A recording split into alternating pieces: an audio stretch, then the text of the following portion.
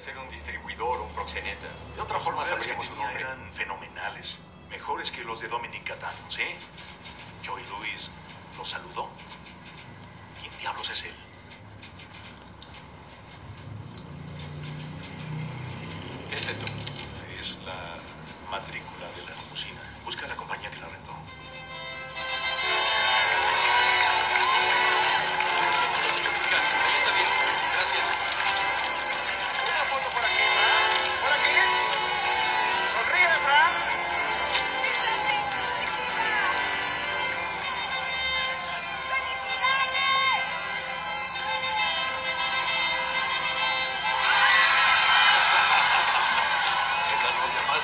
Haya visto. Es mi rayo de sol, señor Williams. Ojalá Bumpy lo hubiera conocido.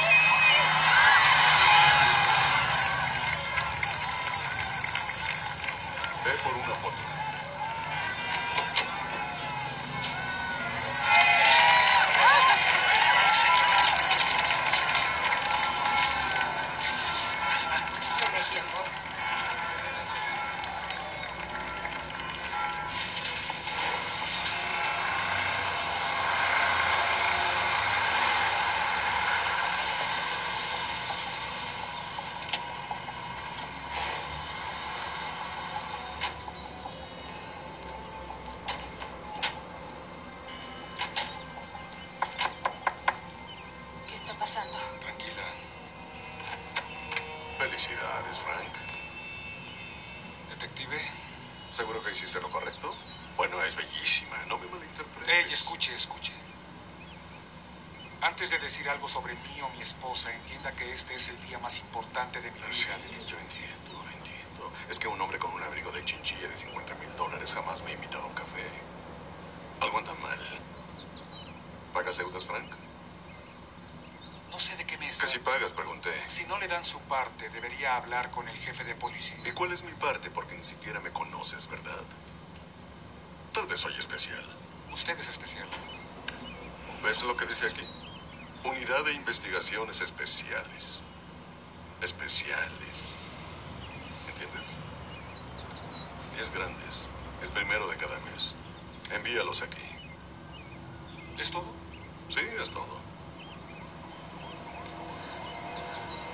No olvides tu tarjeta. Que tengan una loca luna de miel. Vámonos.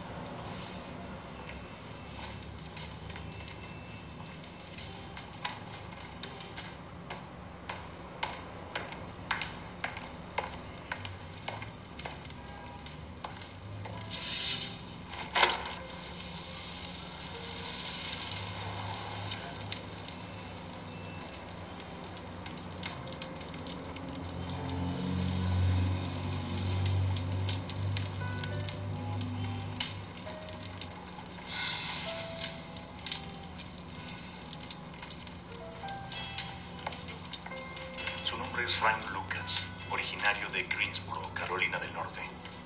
Tuvo un par de arrestos hace años por apuestas y, y de arma de fuego. Durante 15 años fue chofer de Bumpy Johnson, guardaespaldas y recaudador. Estaba con él cuando murió. Tiene cinco hermanos. Él es el mayor y tiene muchos primos. Ahora todos viven aquí, esparcidos en los cinco municipios y en Jersey. Sus hermanos son Dexter, que está en Brooklyn, tiene una lavandería. Vengo por esto. Melvin en Queens, tiene un taller de muebles y puertas contra incendios. ¿Qué es eso? Terrence en Newark, tiene una tabalería. Turner en el Bronx, tiene un taller de neumáticos. Y Huey Lucas en el condado Bergen repara carrocerías. ¿Encuentra el gerente? Entonces lo llevaré a otra parte. Estos negocios son los puntos de distribución y recolección de la droga y dinero de Frank. Todo sobre la vida de Frank parece sin pretensiones, ordenado y legal. Comienza temprano, se levanta a las 5 a.m., desayuna en un café de Harlem todas las mañanas, normalmente solo. luego empieza a trabajar. Se reúne con su contador o con su abogado. De noche suele quedarse en casa. Y si llega a salir, a uno o dos clubes o a un restaurante con su nueva esposa. Hace amistad con deportistas o con músicos, pero jamás, jamás con los del crimen organizado. Los domingos lleva a su madre a la iglesia y luego sale para cambiar las flores de la tumba de Bombi todos los domingos sin importar qué suceda.